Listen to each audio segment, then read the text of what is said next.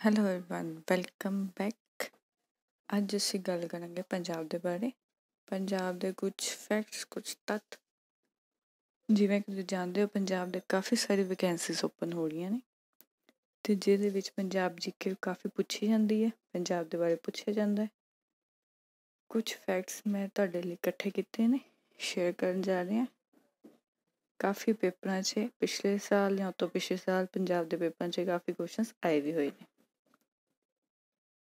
ਚਲੋ, ਗੱਲ ਕਰਦੇ ਹਾਂ ਪੰਜਾਬ ਬਾਰੇ। ਪੰਜਾਬ ਜਿਹੜਾ ਹੈ ਕਦੋਂ ਬਣਿਆ ਸੀ? 1 ਨਵੰਬਰ 1966 ਵਿੱਚ। ਕਦੋਂ ਹੋਂਦ ਵਿੱਚ ਆਇਆ ਸੀ? 1 ਨਵੰਬਰ 1966 ਵਿੱਚ। ਕਾਫੀ ਵਾਰੀ ਕੁਐਸਚਨ ਰਿਪੀਟ ਹੋਇਆ ਹੈ। ਪੰਜਾਬ ਦੀ ਕੈਪੀਟਲ ਕਿਹੜੀ ਹੈ? ਚੰਡੀਗੜ੍ਹ। ਚੰਡੀਗੜ੍ਹ ਕੀ ਹੈ? ਹਰਿਆਣਾ ਤੇ ਪੰਜਾਬ ਦੋਨਾਂ ਦੀ ਕੈਪੀਟਲ ਹੈ।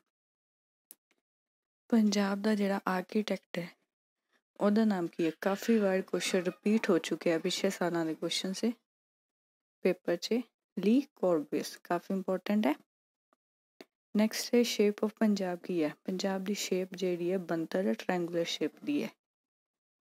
ਤੁਸੀਂ ਮੈਪ 'ਚ ਵੀ ਦੇਖਿਆ ਹੋਣਾ ਹੈ, ਪਿਛਲੀ ਸਲਾਈਡ 'ਚ ਟ੍ਰਾਇੰਗੂਲਰ ਸ਼ੇਪ 'ਚ ਹੈ ਪੰਜਾਬ। ਪੰਜਾਬ ਦਾ ਇੰਟਰਨੈਸ਼ਨਲ ਬਾਰਡਰ ਕਿਹੜਾ? ਪਾਕਿਸਤਾਨ। ਸਾਰਿਆਂ ਨੂੰ ਪਤਾ ਹੋਏਗਾ, ਪੰਜਾਬ ਇੰਟਰਨੈਸ਼ਨਲ ਬਾਰਡਰ ਦੇ 6 ਜ਼ਿਲ੍ਹਿਆਂ ਨਾਲ ਕਨੈਕਟ ਹੁੰਦਾ ਹੈ। ਕਿਹੜੇ ਕਿਹੜੇ ਜ਼ਿਲ੍ਹਿਆਂ ਨਾਲ ਪਾਕਿਸਤਾਨ ਦਾ ਬਾਰਡਰ ਲੱਗਦਾ? ਫਜ਼ਿਲਕਾ, ਪਠਾਨਕੋਟ, ਫਿਰੋਜ਼ਪੁਰ ਅੰਮ੍ਰਿਤਸਰ ਗੁਰਦਾਸਪੁਰ ਤੇ ਤਰਨਤਾਰਨ। ਠੀਕ, ਪੰਜਾਬ ਕੀ ਹੈ? ਨਾਰਥ ਵੈਸਟ ਡਾਇਰੈਕਸ਼ਨ 'ਚ ਹੈ ਪੰਜਾਬ ਕਿਹੜੀ ਡਾਇਰੈਕਸ਼ਨ 'ਚ ਹੈ? ਨਾਰਥ ਵੈਸਟ ਡਾਇਰੈਕਸ਼ਨ 'ਚ ਪੰਜਾਬ ਲੋਕੇਟਡ ਹੈ।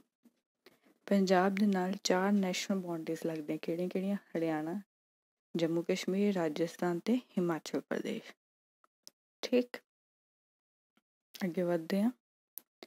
ਪੰਜਾਬ ਦਾ ਸਟੇਟ ਐਨੀਮਲ ਕਿਹੜਾ ਹੈ? ਉਹ ਹੈ ਬਲੈਕ ਬਕ ਜਿਹਨੂੰ ਆਪਾਂ ਕਾਲਾ ਹਿਰਨ ਵੀ ਕਿਹਾ ਜਾਂਦਾ ਹੈ। ਬਲੈਕ ਬਕ ਸਟੇਟ ਬਰਡ ਕਿਹੜਾ ਹੈ? ਬਾਰ, ਜਾਂ ਗੋਸ਼ਕ ਵੀ ਕਹਿੰਦੇ ਨੇ। ਟ੍ਰੀ ਕਿਹੜਾ ਹੈ? ਸ਼ੀਸ਼ਮ ਟਾਲੀ ਪੰਜਾਬ ਦਾ ਟ੍ਰੀ ਕਿਹੜਾ ਮੰਨਿਆ ਜਾਂਦਾ ਹੈ? ਸ਼ੀਸ਼ਮ ਜਾਂ ਟਾਲੀ ਸਪੋਰਟ ਕਿਹੜੀ ਹੈ ਪੰਜਾਬ ਦੀ? ਇਹ ਤਾਂ ਸਾਰਿਆਂ ਨੂੰ ਪਤਾ ਹੋਏਗਾ ਕਬੱਡੀ।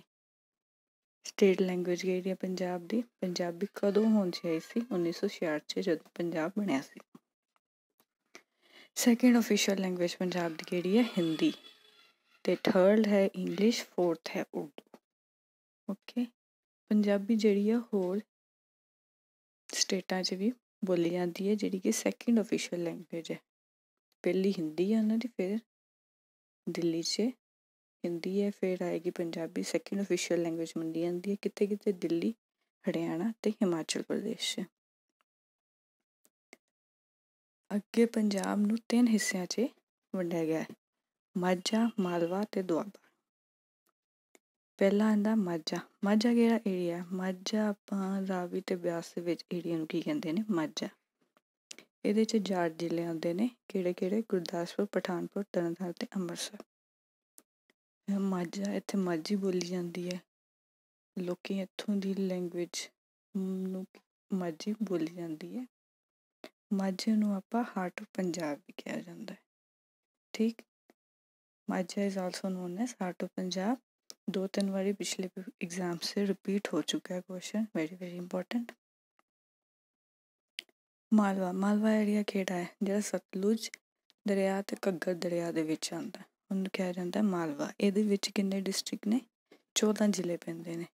ਮਾਝੇ 'ਚ 4 ਸੀ, ਮਾਲਵੇ 'ਚ 14 ਕਿਹੜੇ ਕਿਹੜੇ ਹੈ ਫਿਰੋਜ਼ਪੁਰ, ਫਜ਼ਿਲਕਾ ਸ਼੍ਰੀ ਮੁਕਤਸਰ ਸਾਹਿਬ, ਮੋਗਾ, ਬਠਿੰਡਾ, ਬਰਨਾਲਾ, ਮਾਨਸਾ, ਸੰਗਰੂਰ, ਪਟਿਆਲਾ। ਫਤਿਹਗੜ੍ਹ ਸਾਹਿਬ, ਰੂਪਨਗਰ ਜਿਹਨੂੰ ਰੋਪੜ ਵੀ ਕਿਹਾ ਜਾਂਦਾ ਹੈ। ਐਸਐਸ ਮੁਹਾਲੀ ਜਿਹਦਾ ਕਿ ਹੁਣ ਨਾਮ ਸਾਹਿਬਜ਼ਾਦਾ ਅਜੀਤ ਸਿੰਘ ਐਸਐਸ ਨਗਰ ਕਿਹਾ ਜਾਂਦਾ ਤੇ ਲੁਧਿਆਣਾ। ਡਿਸਟ੍ਰਿਕਟ ਦੇ ਨਾਮ ਨੇ ਯਾਦ ਰੱਖਣੇ ਜ਼ਰੂਰੀ 14 ਜ਼ਿਲ੍ਹੇ ਆਉਂਦੇ ਨੇ ਮਾਲਵੇ 'ਚ ਇੰਨਾ ਯਾਦ ਰੱਖੋ। ਇਹ ਕਿਹੜੀ ਲੈਂਗੁਏਜ ਇੱਥੇ ਬੋਲੀ ਜਾਂਦੀ ਮਲਵਈ? ਅੱਗੇ ਆਂਦਾ ਦੁਆਬਾ। ਦੁਆਬਾ ਕਿਹੜਾ? ਬਿਆਸ ਤੇ ਸਤਲੁਜ ਦੇ ਵਿੱਚ ਏਰੀਆ ਆਉਂਦਾ ਉਹਨੂੰ ਕਿਹਾ ਜਾਂਦਾ ਦੁਆਬਾ। ਇੱਥੇ ਚਾਰ ਜ਼ਿਲ੍ਹੇ ਆਉਂਦੇ ਨੇ, ਹੁਸ਼ਿਆਰਪੁਰ, ਜਲੰਧਰ, ਕਪੂਰਥਲਾ ਤੇ ਸਾਹਿਬਜ਼ਾਦਾ ਸੌਰੀ ਸ਼ਹੀਦ ਭਗਤ ਸਿੰਘ ਨਗਰ।